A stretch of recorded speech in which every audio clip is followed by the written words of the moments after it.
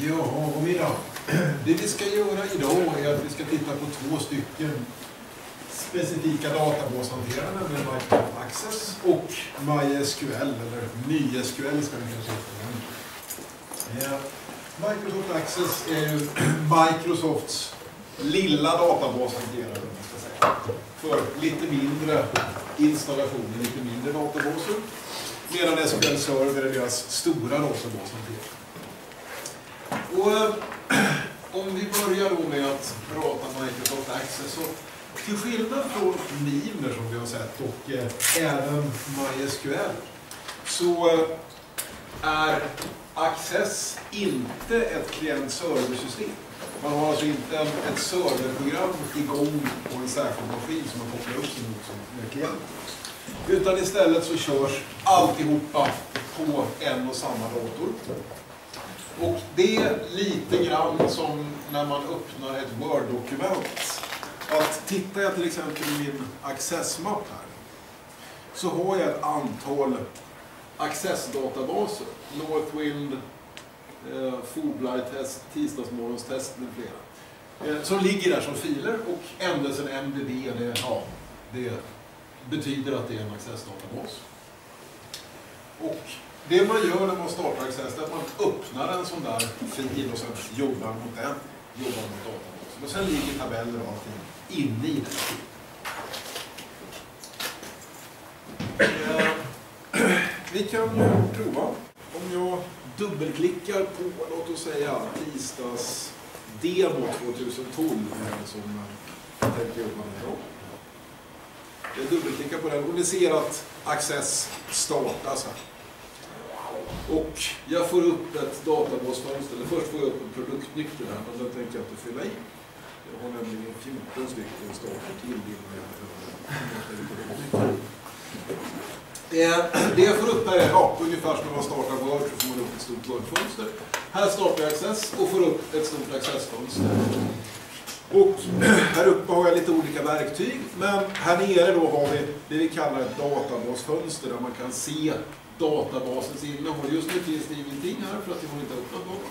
Men tittar vi på den här kanten här så har vi ett antal olika saker man kan titta på. Eh, vi har tabeller. Nu var meningen här att man skulle se olika saker. Ja, vi kan välja mellan typer av saker. Vi kan titta på tabeller i databasen. Vi kan titta på frågor som vi har formulerat. Eh, vi kan titta på formulär som är då ett sätt att grafiskt presentera saker med, med fönster.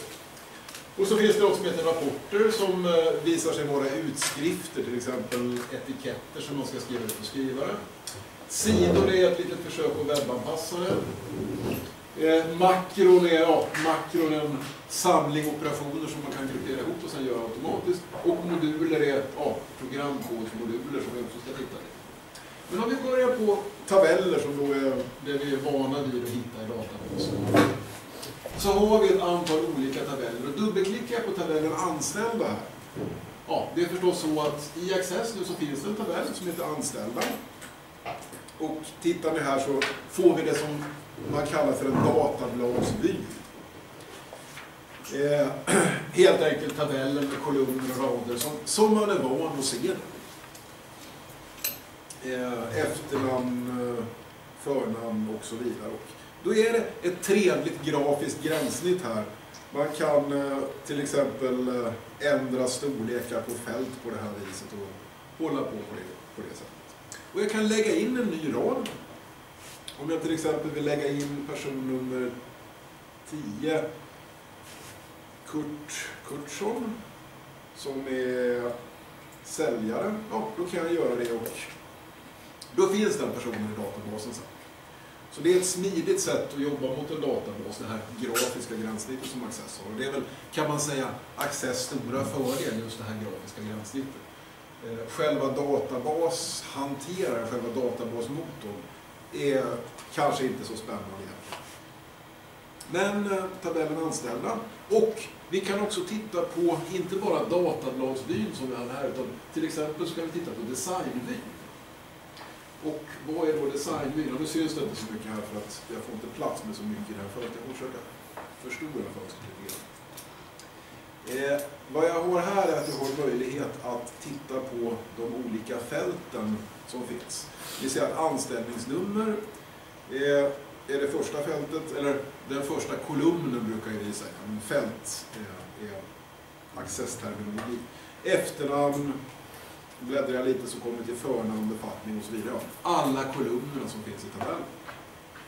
Och man kan även titta på, om vi tittar på ort här till exempel, så ser vi datatyp eller text. Och här nere kan vi se fältstorlek 15, obligatorisk, nej. Det där är, om ni kommer ihåg något null när man skapar en tabell, så är, har man inte satt något null där, utan man kan eh, lämna det tomt. Indexerat, nej, vi har inte skapat index på den kolumnen. Och så vidare. Så att här ser vi tabelldesignen på också ett ganska smidigt sätt. Vill man lägga till en ny kolumn så kan man göra det. Eller skulle kunna om jag bara hade en lite större skärm så jag kunde skriva dit. Men säg att vi lägger in eh, skostorlek här. Som är av typen, ja då får jag välja datatyp här. Och jag väljer talen. Och beskrivningar, det har vi inte. Så sparar jag den där och nu tittar jag på databladsvyn igen. Jag tror det funkar att dubbelklicka på anställda. Ja, då kommer databladsvyn upp. Och med hjälp av den här scrollstapeln här så kan jag bläddra ut till höger och här, titta, här har fältet skostorlek dykt upp då, så jag kan lägga in 45, 39, 47, ja vad man nu kan ha för stor skostorlek. Eh, det är tabellen och vill jag skapa en ny tabell i databasen då finns det smidiga sätt att göra det. Eh, låt oss säga att jag klippar, klickar på skapa och sen tabelldesign. Ja, då kommer mitt eh, tabelldesigns verktyg upp här. Eh, nu heter tabellen tabell 1, och det får den väl göra ett tag då. Eh, och sen kan man skriva in vilka fält det är jag tänkt mig att ha här. Till exempel eh, fältet eh, nummer kan få vara det första. Och sen kan vi ha namn och sen om jag sparar tabelldesignen så ska vi kalla tabellen för något. Den får heta, eh, vad ska vi säga, maskar kan den heta. Så. Ingen primärnyckel har definierats. Ja, då fick jag lite hjälp här och om jag högerklickar här så kan jag sätta det här fältet nummer som primärnyckel ifall jag vill göra det. Då är den tabellen klar och eh, dyker upp här till vänster. Dubbelklickar jag. Ja, titta här har vi maskar då som i databladsvy. Masken Max får vara nummer ett. Masken Olle kan vara nummer tre. Nej, nummer två. Och masken tre då kan heta Kurt Så. Då hade vi några maskar. Eh, man kan också skapa tabeller på andra sätt. Det finns, eh, om jag klickar på skapa här så kan jag använda ja, tabellmallar baserat på en mall då, till exempel för eh, kom, kontakter och ärenden och ja, vanliga tabeller, hur de brukar se ut, kan jag använda. Jag kan också skriva in en tabell. Ni ser att jag klickade där och så dök det upp en databladsvy på en ny tabell. Då får den också heta tabell 1. Och så kan jag skriva in lite saker här. 128 blå. 235 röd. 167 Konstigt. Jag skriver in lite data. Sparar tabellen, ja, den får heta, den får heta tabellen.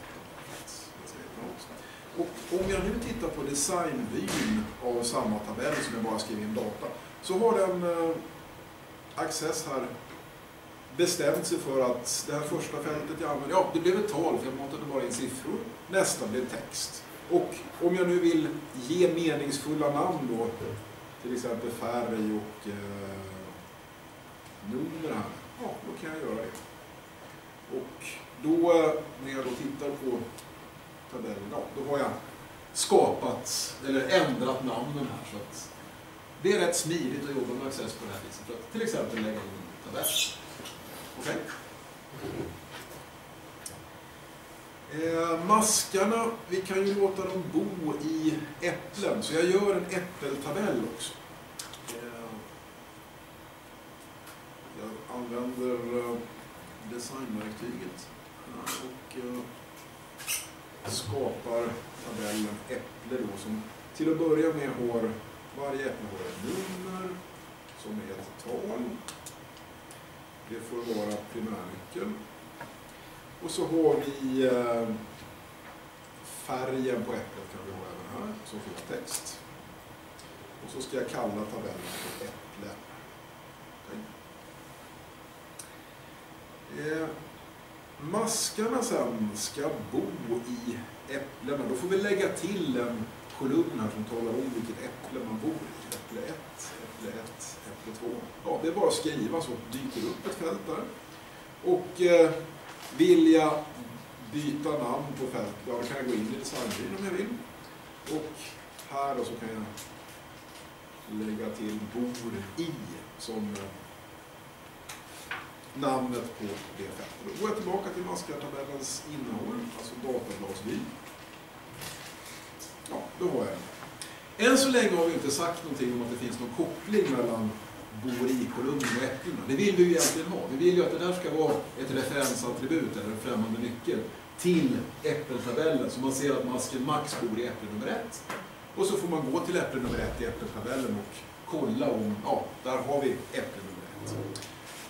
Då kan vi göra det och då finns det ett särskilt litet verktyg om jag stänger undan de här öppna tabellerna. Eh, ska vi leta rätt på verktyg, databasverktyg. Här.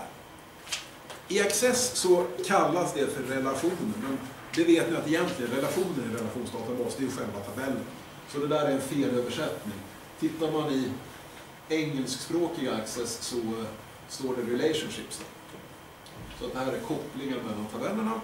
Och eh, vi ser att av de här tabellerna som fanns i den här databasen från början så är till exempel ordertabellen kopplad till kundertabellen och anställda-tabellen och så vidare. Men vi vill göra en koppling nu mellan vår tabell maskar och vår tabell äpplen. Så jag klickar på maskar där och nu ska vi se om jag kan få markera här Eh, äpplen och maskar. Så de vill jag visa. Lägg till. Ja, titta nu dök de upp här. I eh, fönstret med kopplingar mellan tabeller. Och jag eh, ska försöka flytta dem lite så att man ser lite. Där flyttade jag. Det jag ville göra var så att göra en koppling mellan ja, att bor i-kolumnen här i masktabellen ska kopplas till nummerkolumnen i äppeltabellen. Och ja, hade det varit SQL så hade vi skrivit eh, foreign key references och allt det där. Nu tar jag tag här och drar den där över dit till nummer. Och så kommer det upp en liten ruta här. Då får jag bestämma lite saker. Uppenbarligen är det så att nummer är kopplat till bor i här. Jag kan ange, ja, referensintegritet det vill vi ha. Eh, att det är ett till många, ja det blir det ju för att varje mask bor i ett äpple, men varje äpple kan det bo många maskar i. Och referensintegritet, ja det är, det är det vi kallar en foreign key. Och här, uppdatera poster i relaterade tabeller, respektive ta bort poster i relaterade tabeller. Om ni kommer ihåg att man kunde ange vad som skulle hända om man bröt mot den här referensintegriteten. Till exempel on delete cascade. Att när jag tar bort ett äpple ska alla maskarna som hörde till det äpplet försvinna. Ja, då kan man klicka i ta bort postrelaterat där. Eh, kopplingstyp. Ja, här har vi till exempel ta med alla poster från äpplen även om det inte går att koppla ihop med, ett, med någon mask. Ja, det här är yttre joiner av olika slag som vi kan definiera. Så att redan här när man anger vilka foreign keys som finns så kan man tala om att när vi sedan använder det här i frågor så vill vi ha en yttre till exempel. Jag skapar den där och det gick inte. Varför gick inte det? Jo, det kan till exempel finnas poster som hänvisar till någonting. Vi får kolla på innehållet här innan vi skapar. Eh, jag går till anställda, nej inte anställda, jag menar maskar. Här, då bor i äpple 1, 1 och 2. Och sen tittar vi på äppletabellen, då ska det finnas... Va? Vi har inte lagt in några äpplen, så att det vore ju inte konstigt att det gick att skapa det här. Så att jag skapar äpple nummer 1 som är ett rött äpple. Äpple nummer 2 som är ett grönt äpple. Och äpple nummer 3 som är gult. Så. Nu har jag skapat lite rader i tabellen. Så nu borde det funka att gå tillbaka till, eh, till eh, jag stänger den, Så jag tillbaka till mina kopplingar. Nu, nu drar jag bor i till nummer här. Jag klickar i referensintegritet och sen säger jag skapa. Ja, nu gick det. Och om jag nu försöker skapa en mask, mask nummer fyra. Anna som bor i äpple 3. Det ska inte gå. Om du har ditt gulbälte. Ja just det, det var till ett gult äpple som hade 3. Ursäkta. Fyra då? Ja, där. Du kan inte lägga till eller ändra posten. Det krävs en relaterad post i tabellen. Ja, precis som det står. Så att då får man ändra fyra där till två till exempel. Ja, då får Så då har vi sett tabeller och vi har sett att man kan koppla ihop dem. Vi kan även ställa frågor sen som använder sig av tabellen. Och jag vet inte om ni kommer ihåg här att här ute till vänster då så hade vi, förutom tabellerna så kunde man se existerande frågor. Eh, då ska vi se, tabeller. Alla accessobjekt. Ja, det här var tabellerna, sen kommer frågorna, formulärerna, rapporter, sidor, modul. Så. Eh, tabeller har vi sett vad det är. Frågor sen. Ja, till exempel eh, fakturor här är en fråga. Vadå fråga? Jag dubbelklickar och så kom det upp vad som ser ut att vara en tabell. Ja, även här har vi en databladsvy som visar rader och kolumner, men nu är det resultatet av när man körde frågan. Och väljer jag eh, visa, ja det här är databladsvy, den ser ut så. Väljer jag designvy, ja titta då kommer det upp en grafisk representation av den här frågan. Vilka tabeller som används i frågan, kunder, order, anställda och så vidare. Oj, eh, och hur de är ihopkopplade. Så det här är tabellerna, vilka joinar som görs emellan dem. Och här nere så har vi då resultatet, vilka kolumner som ska vara med i resultatet. Okej? Okay? Eh, vi kan göra en egen fråga. Så att bland frågor här, säg att vi vill ha fram maskarna och färgen på det äpple som varje mask bor i. Då kan jag gå till skapa här och om jag nu lyckas skapa en fråga här, jag ska se. Var har vi det någonstans? Design. Skapa fråga.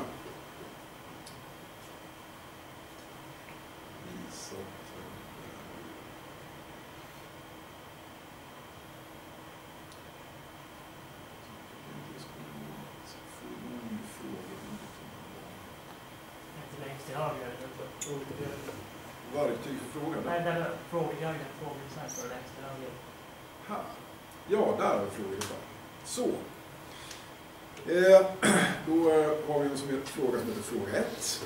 Och vad är det jag vill ha i den? Jo, jag vill ha äpplen och jag vill ha maskar. De två, så jag lägger till dem där. Och så stänger vi. Så att i den här frågan nu så vill jag använda mig av äpplen och maskar. Och redan nu så kopplar den ihop dem. Det är ju inte säkert att jag vill använda den här kopplingen mellan två tabeller bara för att den finns där. Men den finns med från början i och med att jag har definierat att det finns en koppling där. Och i det här fallet vill vi ha kvar den, för vi vill ju se för varje mask vilket äpple den masken bor i. Jag kan flytta det sådär för att jag vill ha maskar först och äpplen sen. Och vad vill jag ha för saker med i, i eh, svaret? Ska vi se om vi kan lyckas hitta Jag stänger fakturan.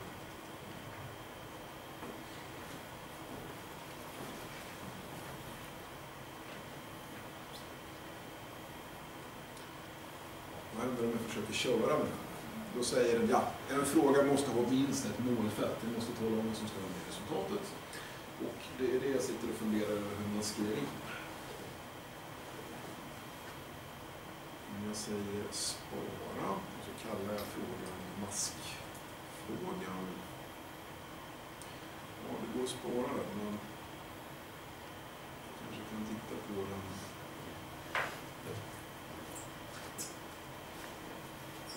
Samma sak. Jo, där nere har bara försvunnit. Här kan man lägga till resultatet. Till exempel vill jag ha kanske masknummer, masknamn och så vill jag ha äpplets färg. Så.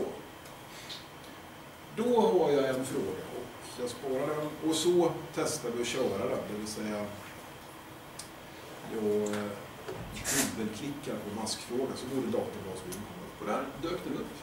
Mask nummer ett, Max, bor i ett rött äpple och så vidare. Så att på det här viset kunde jag på ett ganska enkelt grafiskt sätt definiera frågor i databas. Och om ni kommer ihåg vad en vy är så är ju en vy egentligen en SQL-fråga som man har satt ett namn på.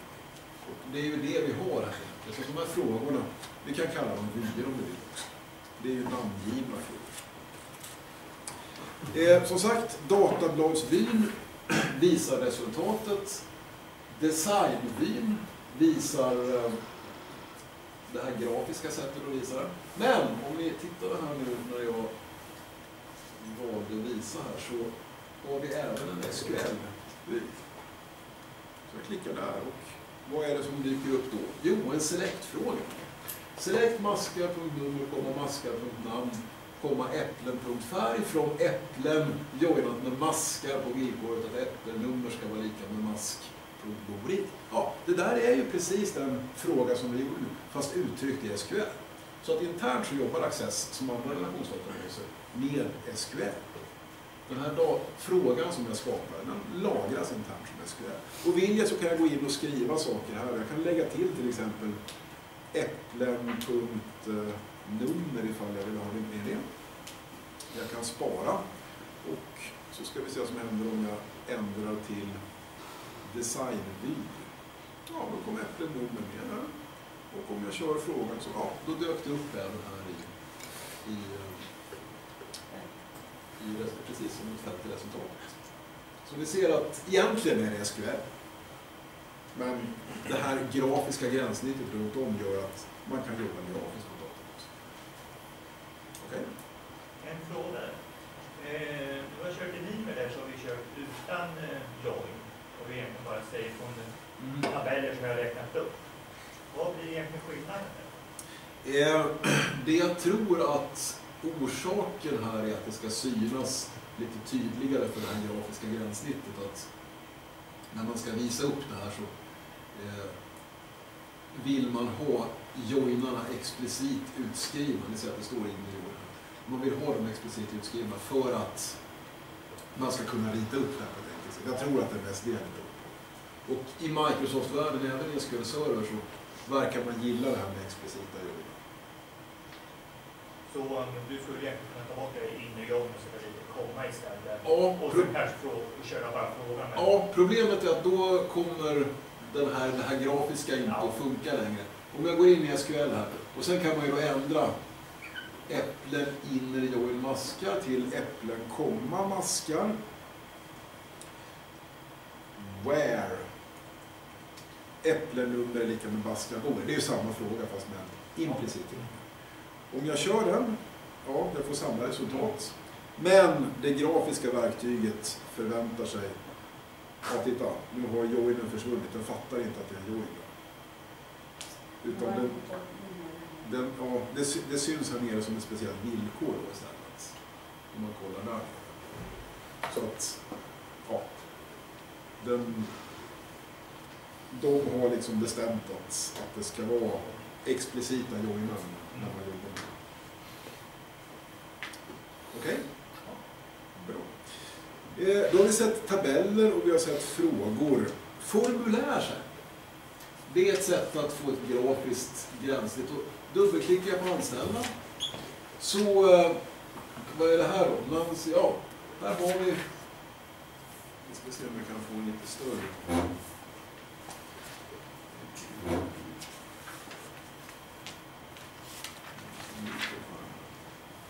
Eh, det finns ett bläddringsfält lite längre ner. Ah, där kan jag titta på. Här kan jag bläddra mellan de anställda. Det är samma som finns i den här anställda tabellen. Och här till exempel är Kurt Kurtsson som jag la in som en extra person. Och det man, de här formulären de är också skapade som en design. Tittar jag på designvyn för det här formuläret. Ja, då har jag ett verktyg här för att skapa sådana här formulär. Till exempel för att flytta runt de här fälten. Om jag tar anställningsnumret och flyttar det dit, jag tar förnamnet och flyttar det dit, efternamnet och flyttar det dit bort. Och sen tittar på eh, ja, då har jag förstört den här snygga layouten här. Så det gick alltså att flytta runt så. Och var får den där sina data från? Jo, för varje formulär så definierar man en datakälla. I det här fallet tror jag det är tabellen anställda bara som datakälla. Eh, annars kan man ha en fråga som datakälla. Så att man alltså bläddrar runt, kan man säga, i antingen en tabells data eller i eh Eh, resultatet av en fråga. Okay. Rapporter, ja det sa vi, det var utskrifter. Om jag till exempel tittar på kundetiketter här så kan jag få fram, ja, det är adressetiketter till, eh, till eh, kunder här som man kan titta på. Lite större. Eh, tänkt att skrivas ut på papper på skrivare. Sidor, ja, det var ett försök att eh, eh, göra webbsidor. Det är nog inte riktigt rätt. Det, det, funkar inte riktigt att göra en webbaserad eh, en databasbaserad webbplats med hjälp av Access med de så kallade sidorna. Utan det är mer ett alternativ till de här formulären som istället visas i Internet Explorer istället för direkt i Access.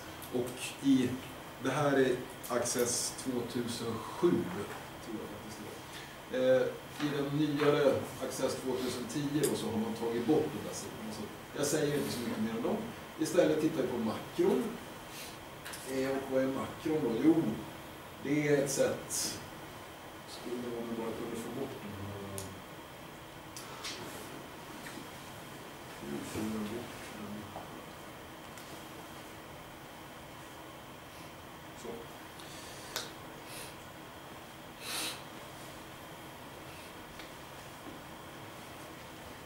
Jo, eh,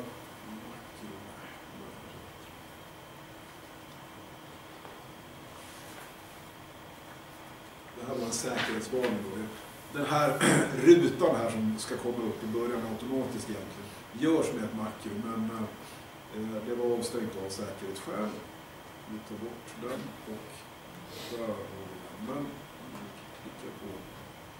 Jag hade tänkt att jag skulle se framåt men det verkar inte funka. Visa. Design. Jo, där! Kundetiketter, dialogruta. Ja, Eh, instruktioner, sätt värde, gå till kontroll, makronamn. Ja, det här är ett sätt att göra det som normalt kräver några stycken musklick här eh, automatiskt i form av ett makro.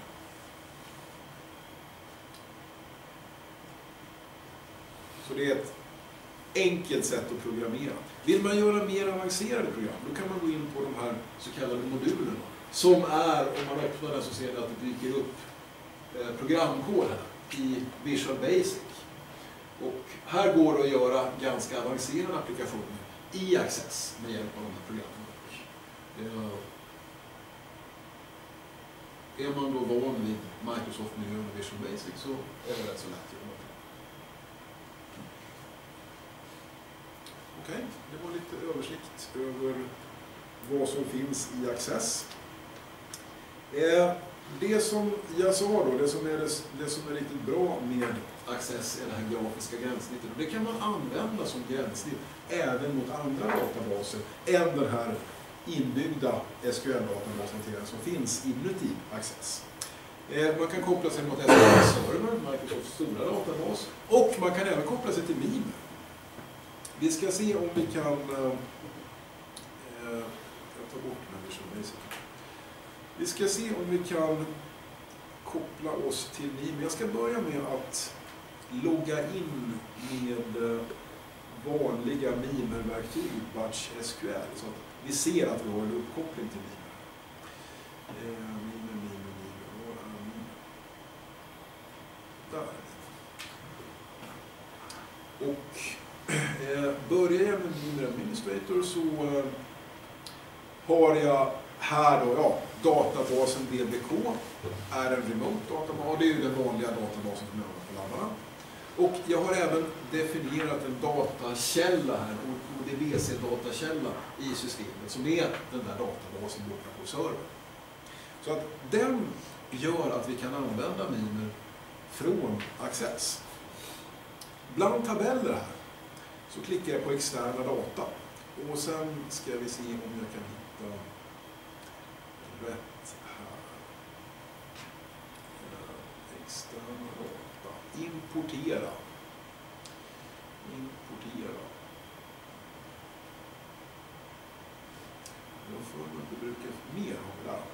Ja, ODBC databas. Jag kan importera, det vill säga hämta data från en ODBC-databas. Alltså sådana här datakällor. Till exempel skulle jag kunna ta en tabell i vår Mimer-databas och ösa in datat och ha det i Access. Men det vill jag inte göra, utan istället vill jag göra en länk till datakällan. Så att här i eh, Access så länkar jag till datakällan.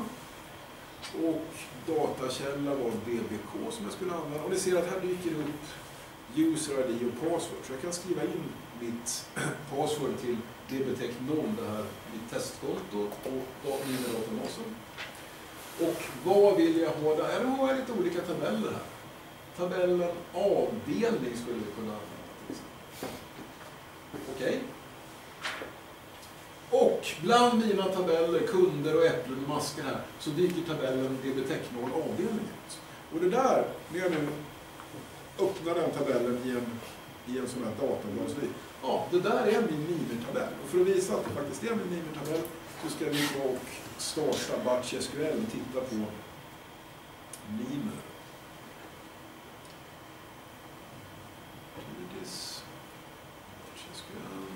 DBK. Jag loggar in som DBK, vad DBTech 0. DBTech 0. Och nu kan jag göra select stjärna från avdelningar. Den här avdelningen finns. Nim... Avdelning.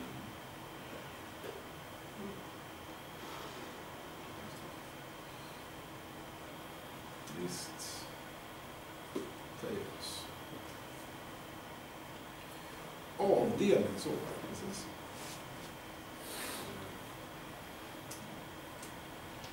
Select stjärnan från AD. Ja, där. Vi ser att det är samma data. Det här är, det ligger på riktigt i Bibeldatabåsen. Och lägger jag in någonting nytt här, avdelning nummer 6, eh, svampvakt.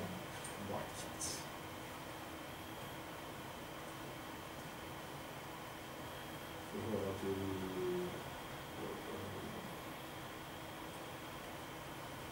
Jag till svampvakt i Access. Och om allting funkar som jag hade tänkt nu så ska den dyka upp här i Bibeldatabåsen. Ja, det gjorde den. Så ni ser att det är samma tabell man jobbar. Så på det här viset så skulle jag alltså kunna jobba mot Mimer med Access grafiska gränssnitt. om det. Kan man göra det tvärtom? Eh, ja, nu har Mimer inte så bra stöd för det, men man skulle kunna, man skulle kunna koppla. Access till. Ja, alltså att komma åt en accessdatabas inifrån Mimer. Ehm, ja, inte direkt tror jag, då får man göra det via någon form av tillämpningsprogram som jobbar på bägge databaserna. Det är inte så, för att Access har bra stöd för att komma åt andra databaser inifrån Access. Mimer har inte samma sak. Ja, Okej.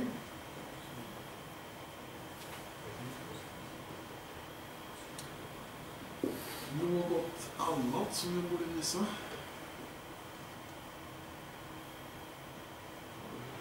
Då kanske vi är nöjda med accessdatabasen Och jag kan väl säga så här. Eh, många databaser, till exempel MySQL, det finns ju till alla möjliga operativsystem.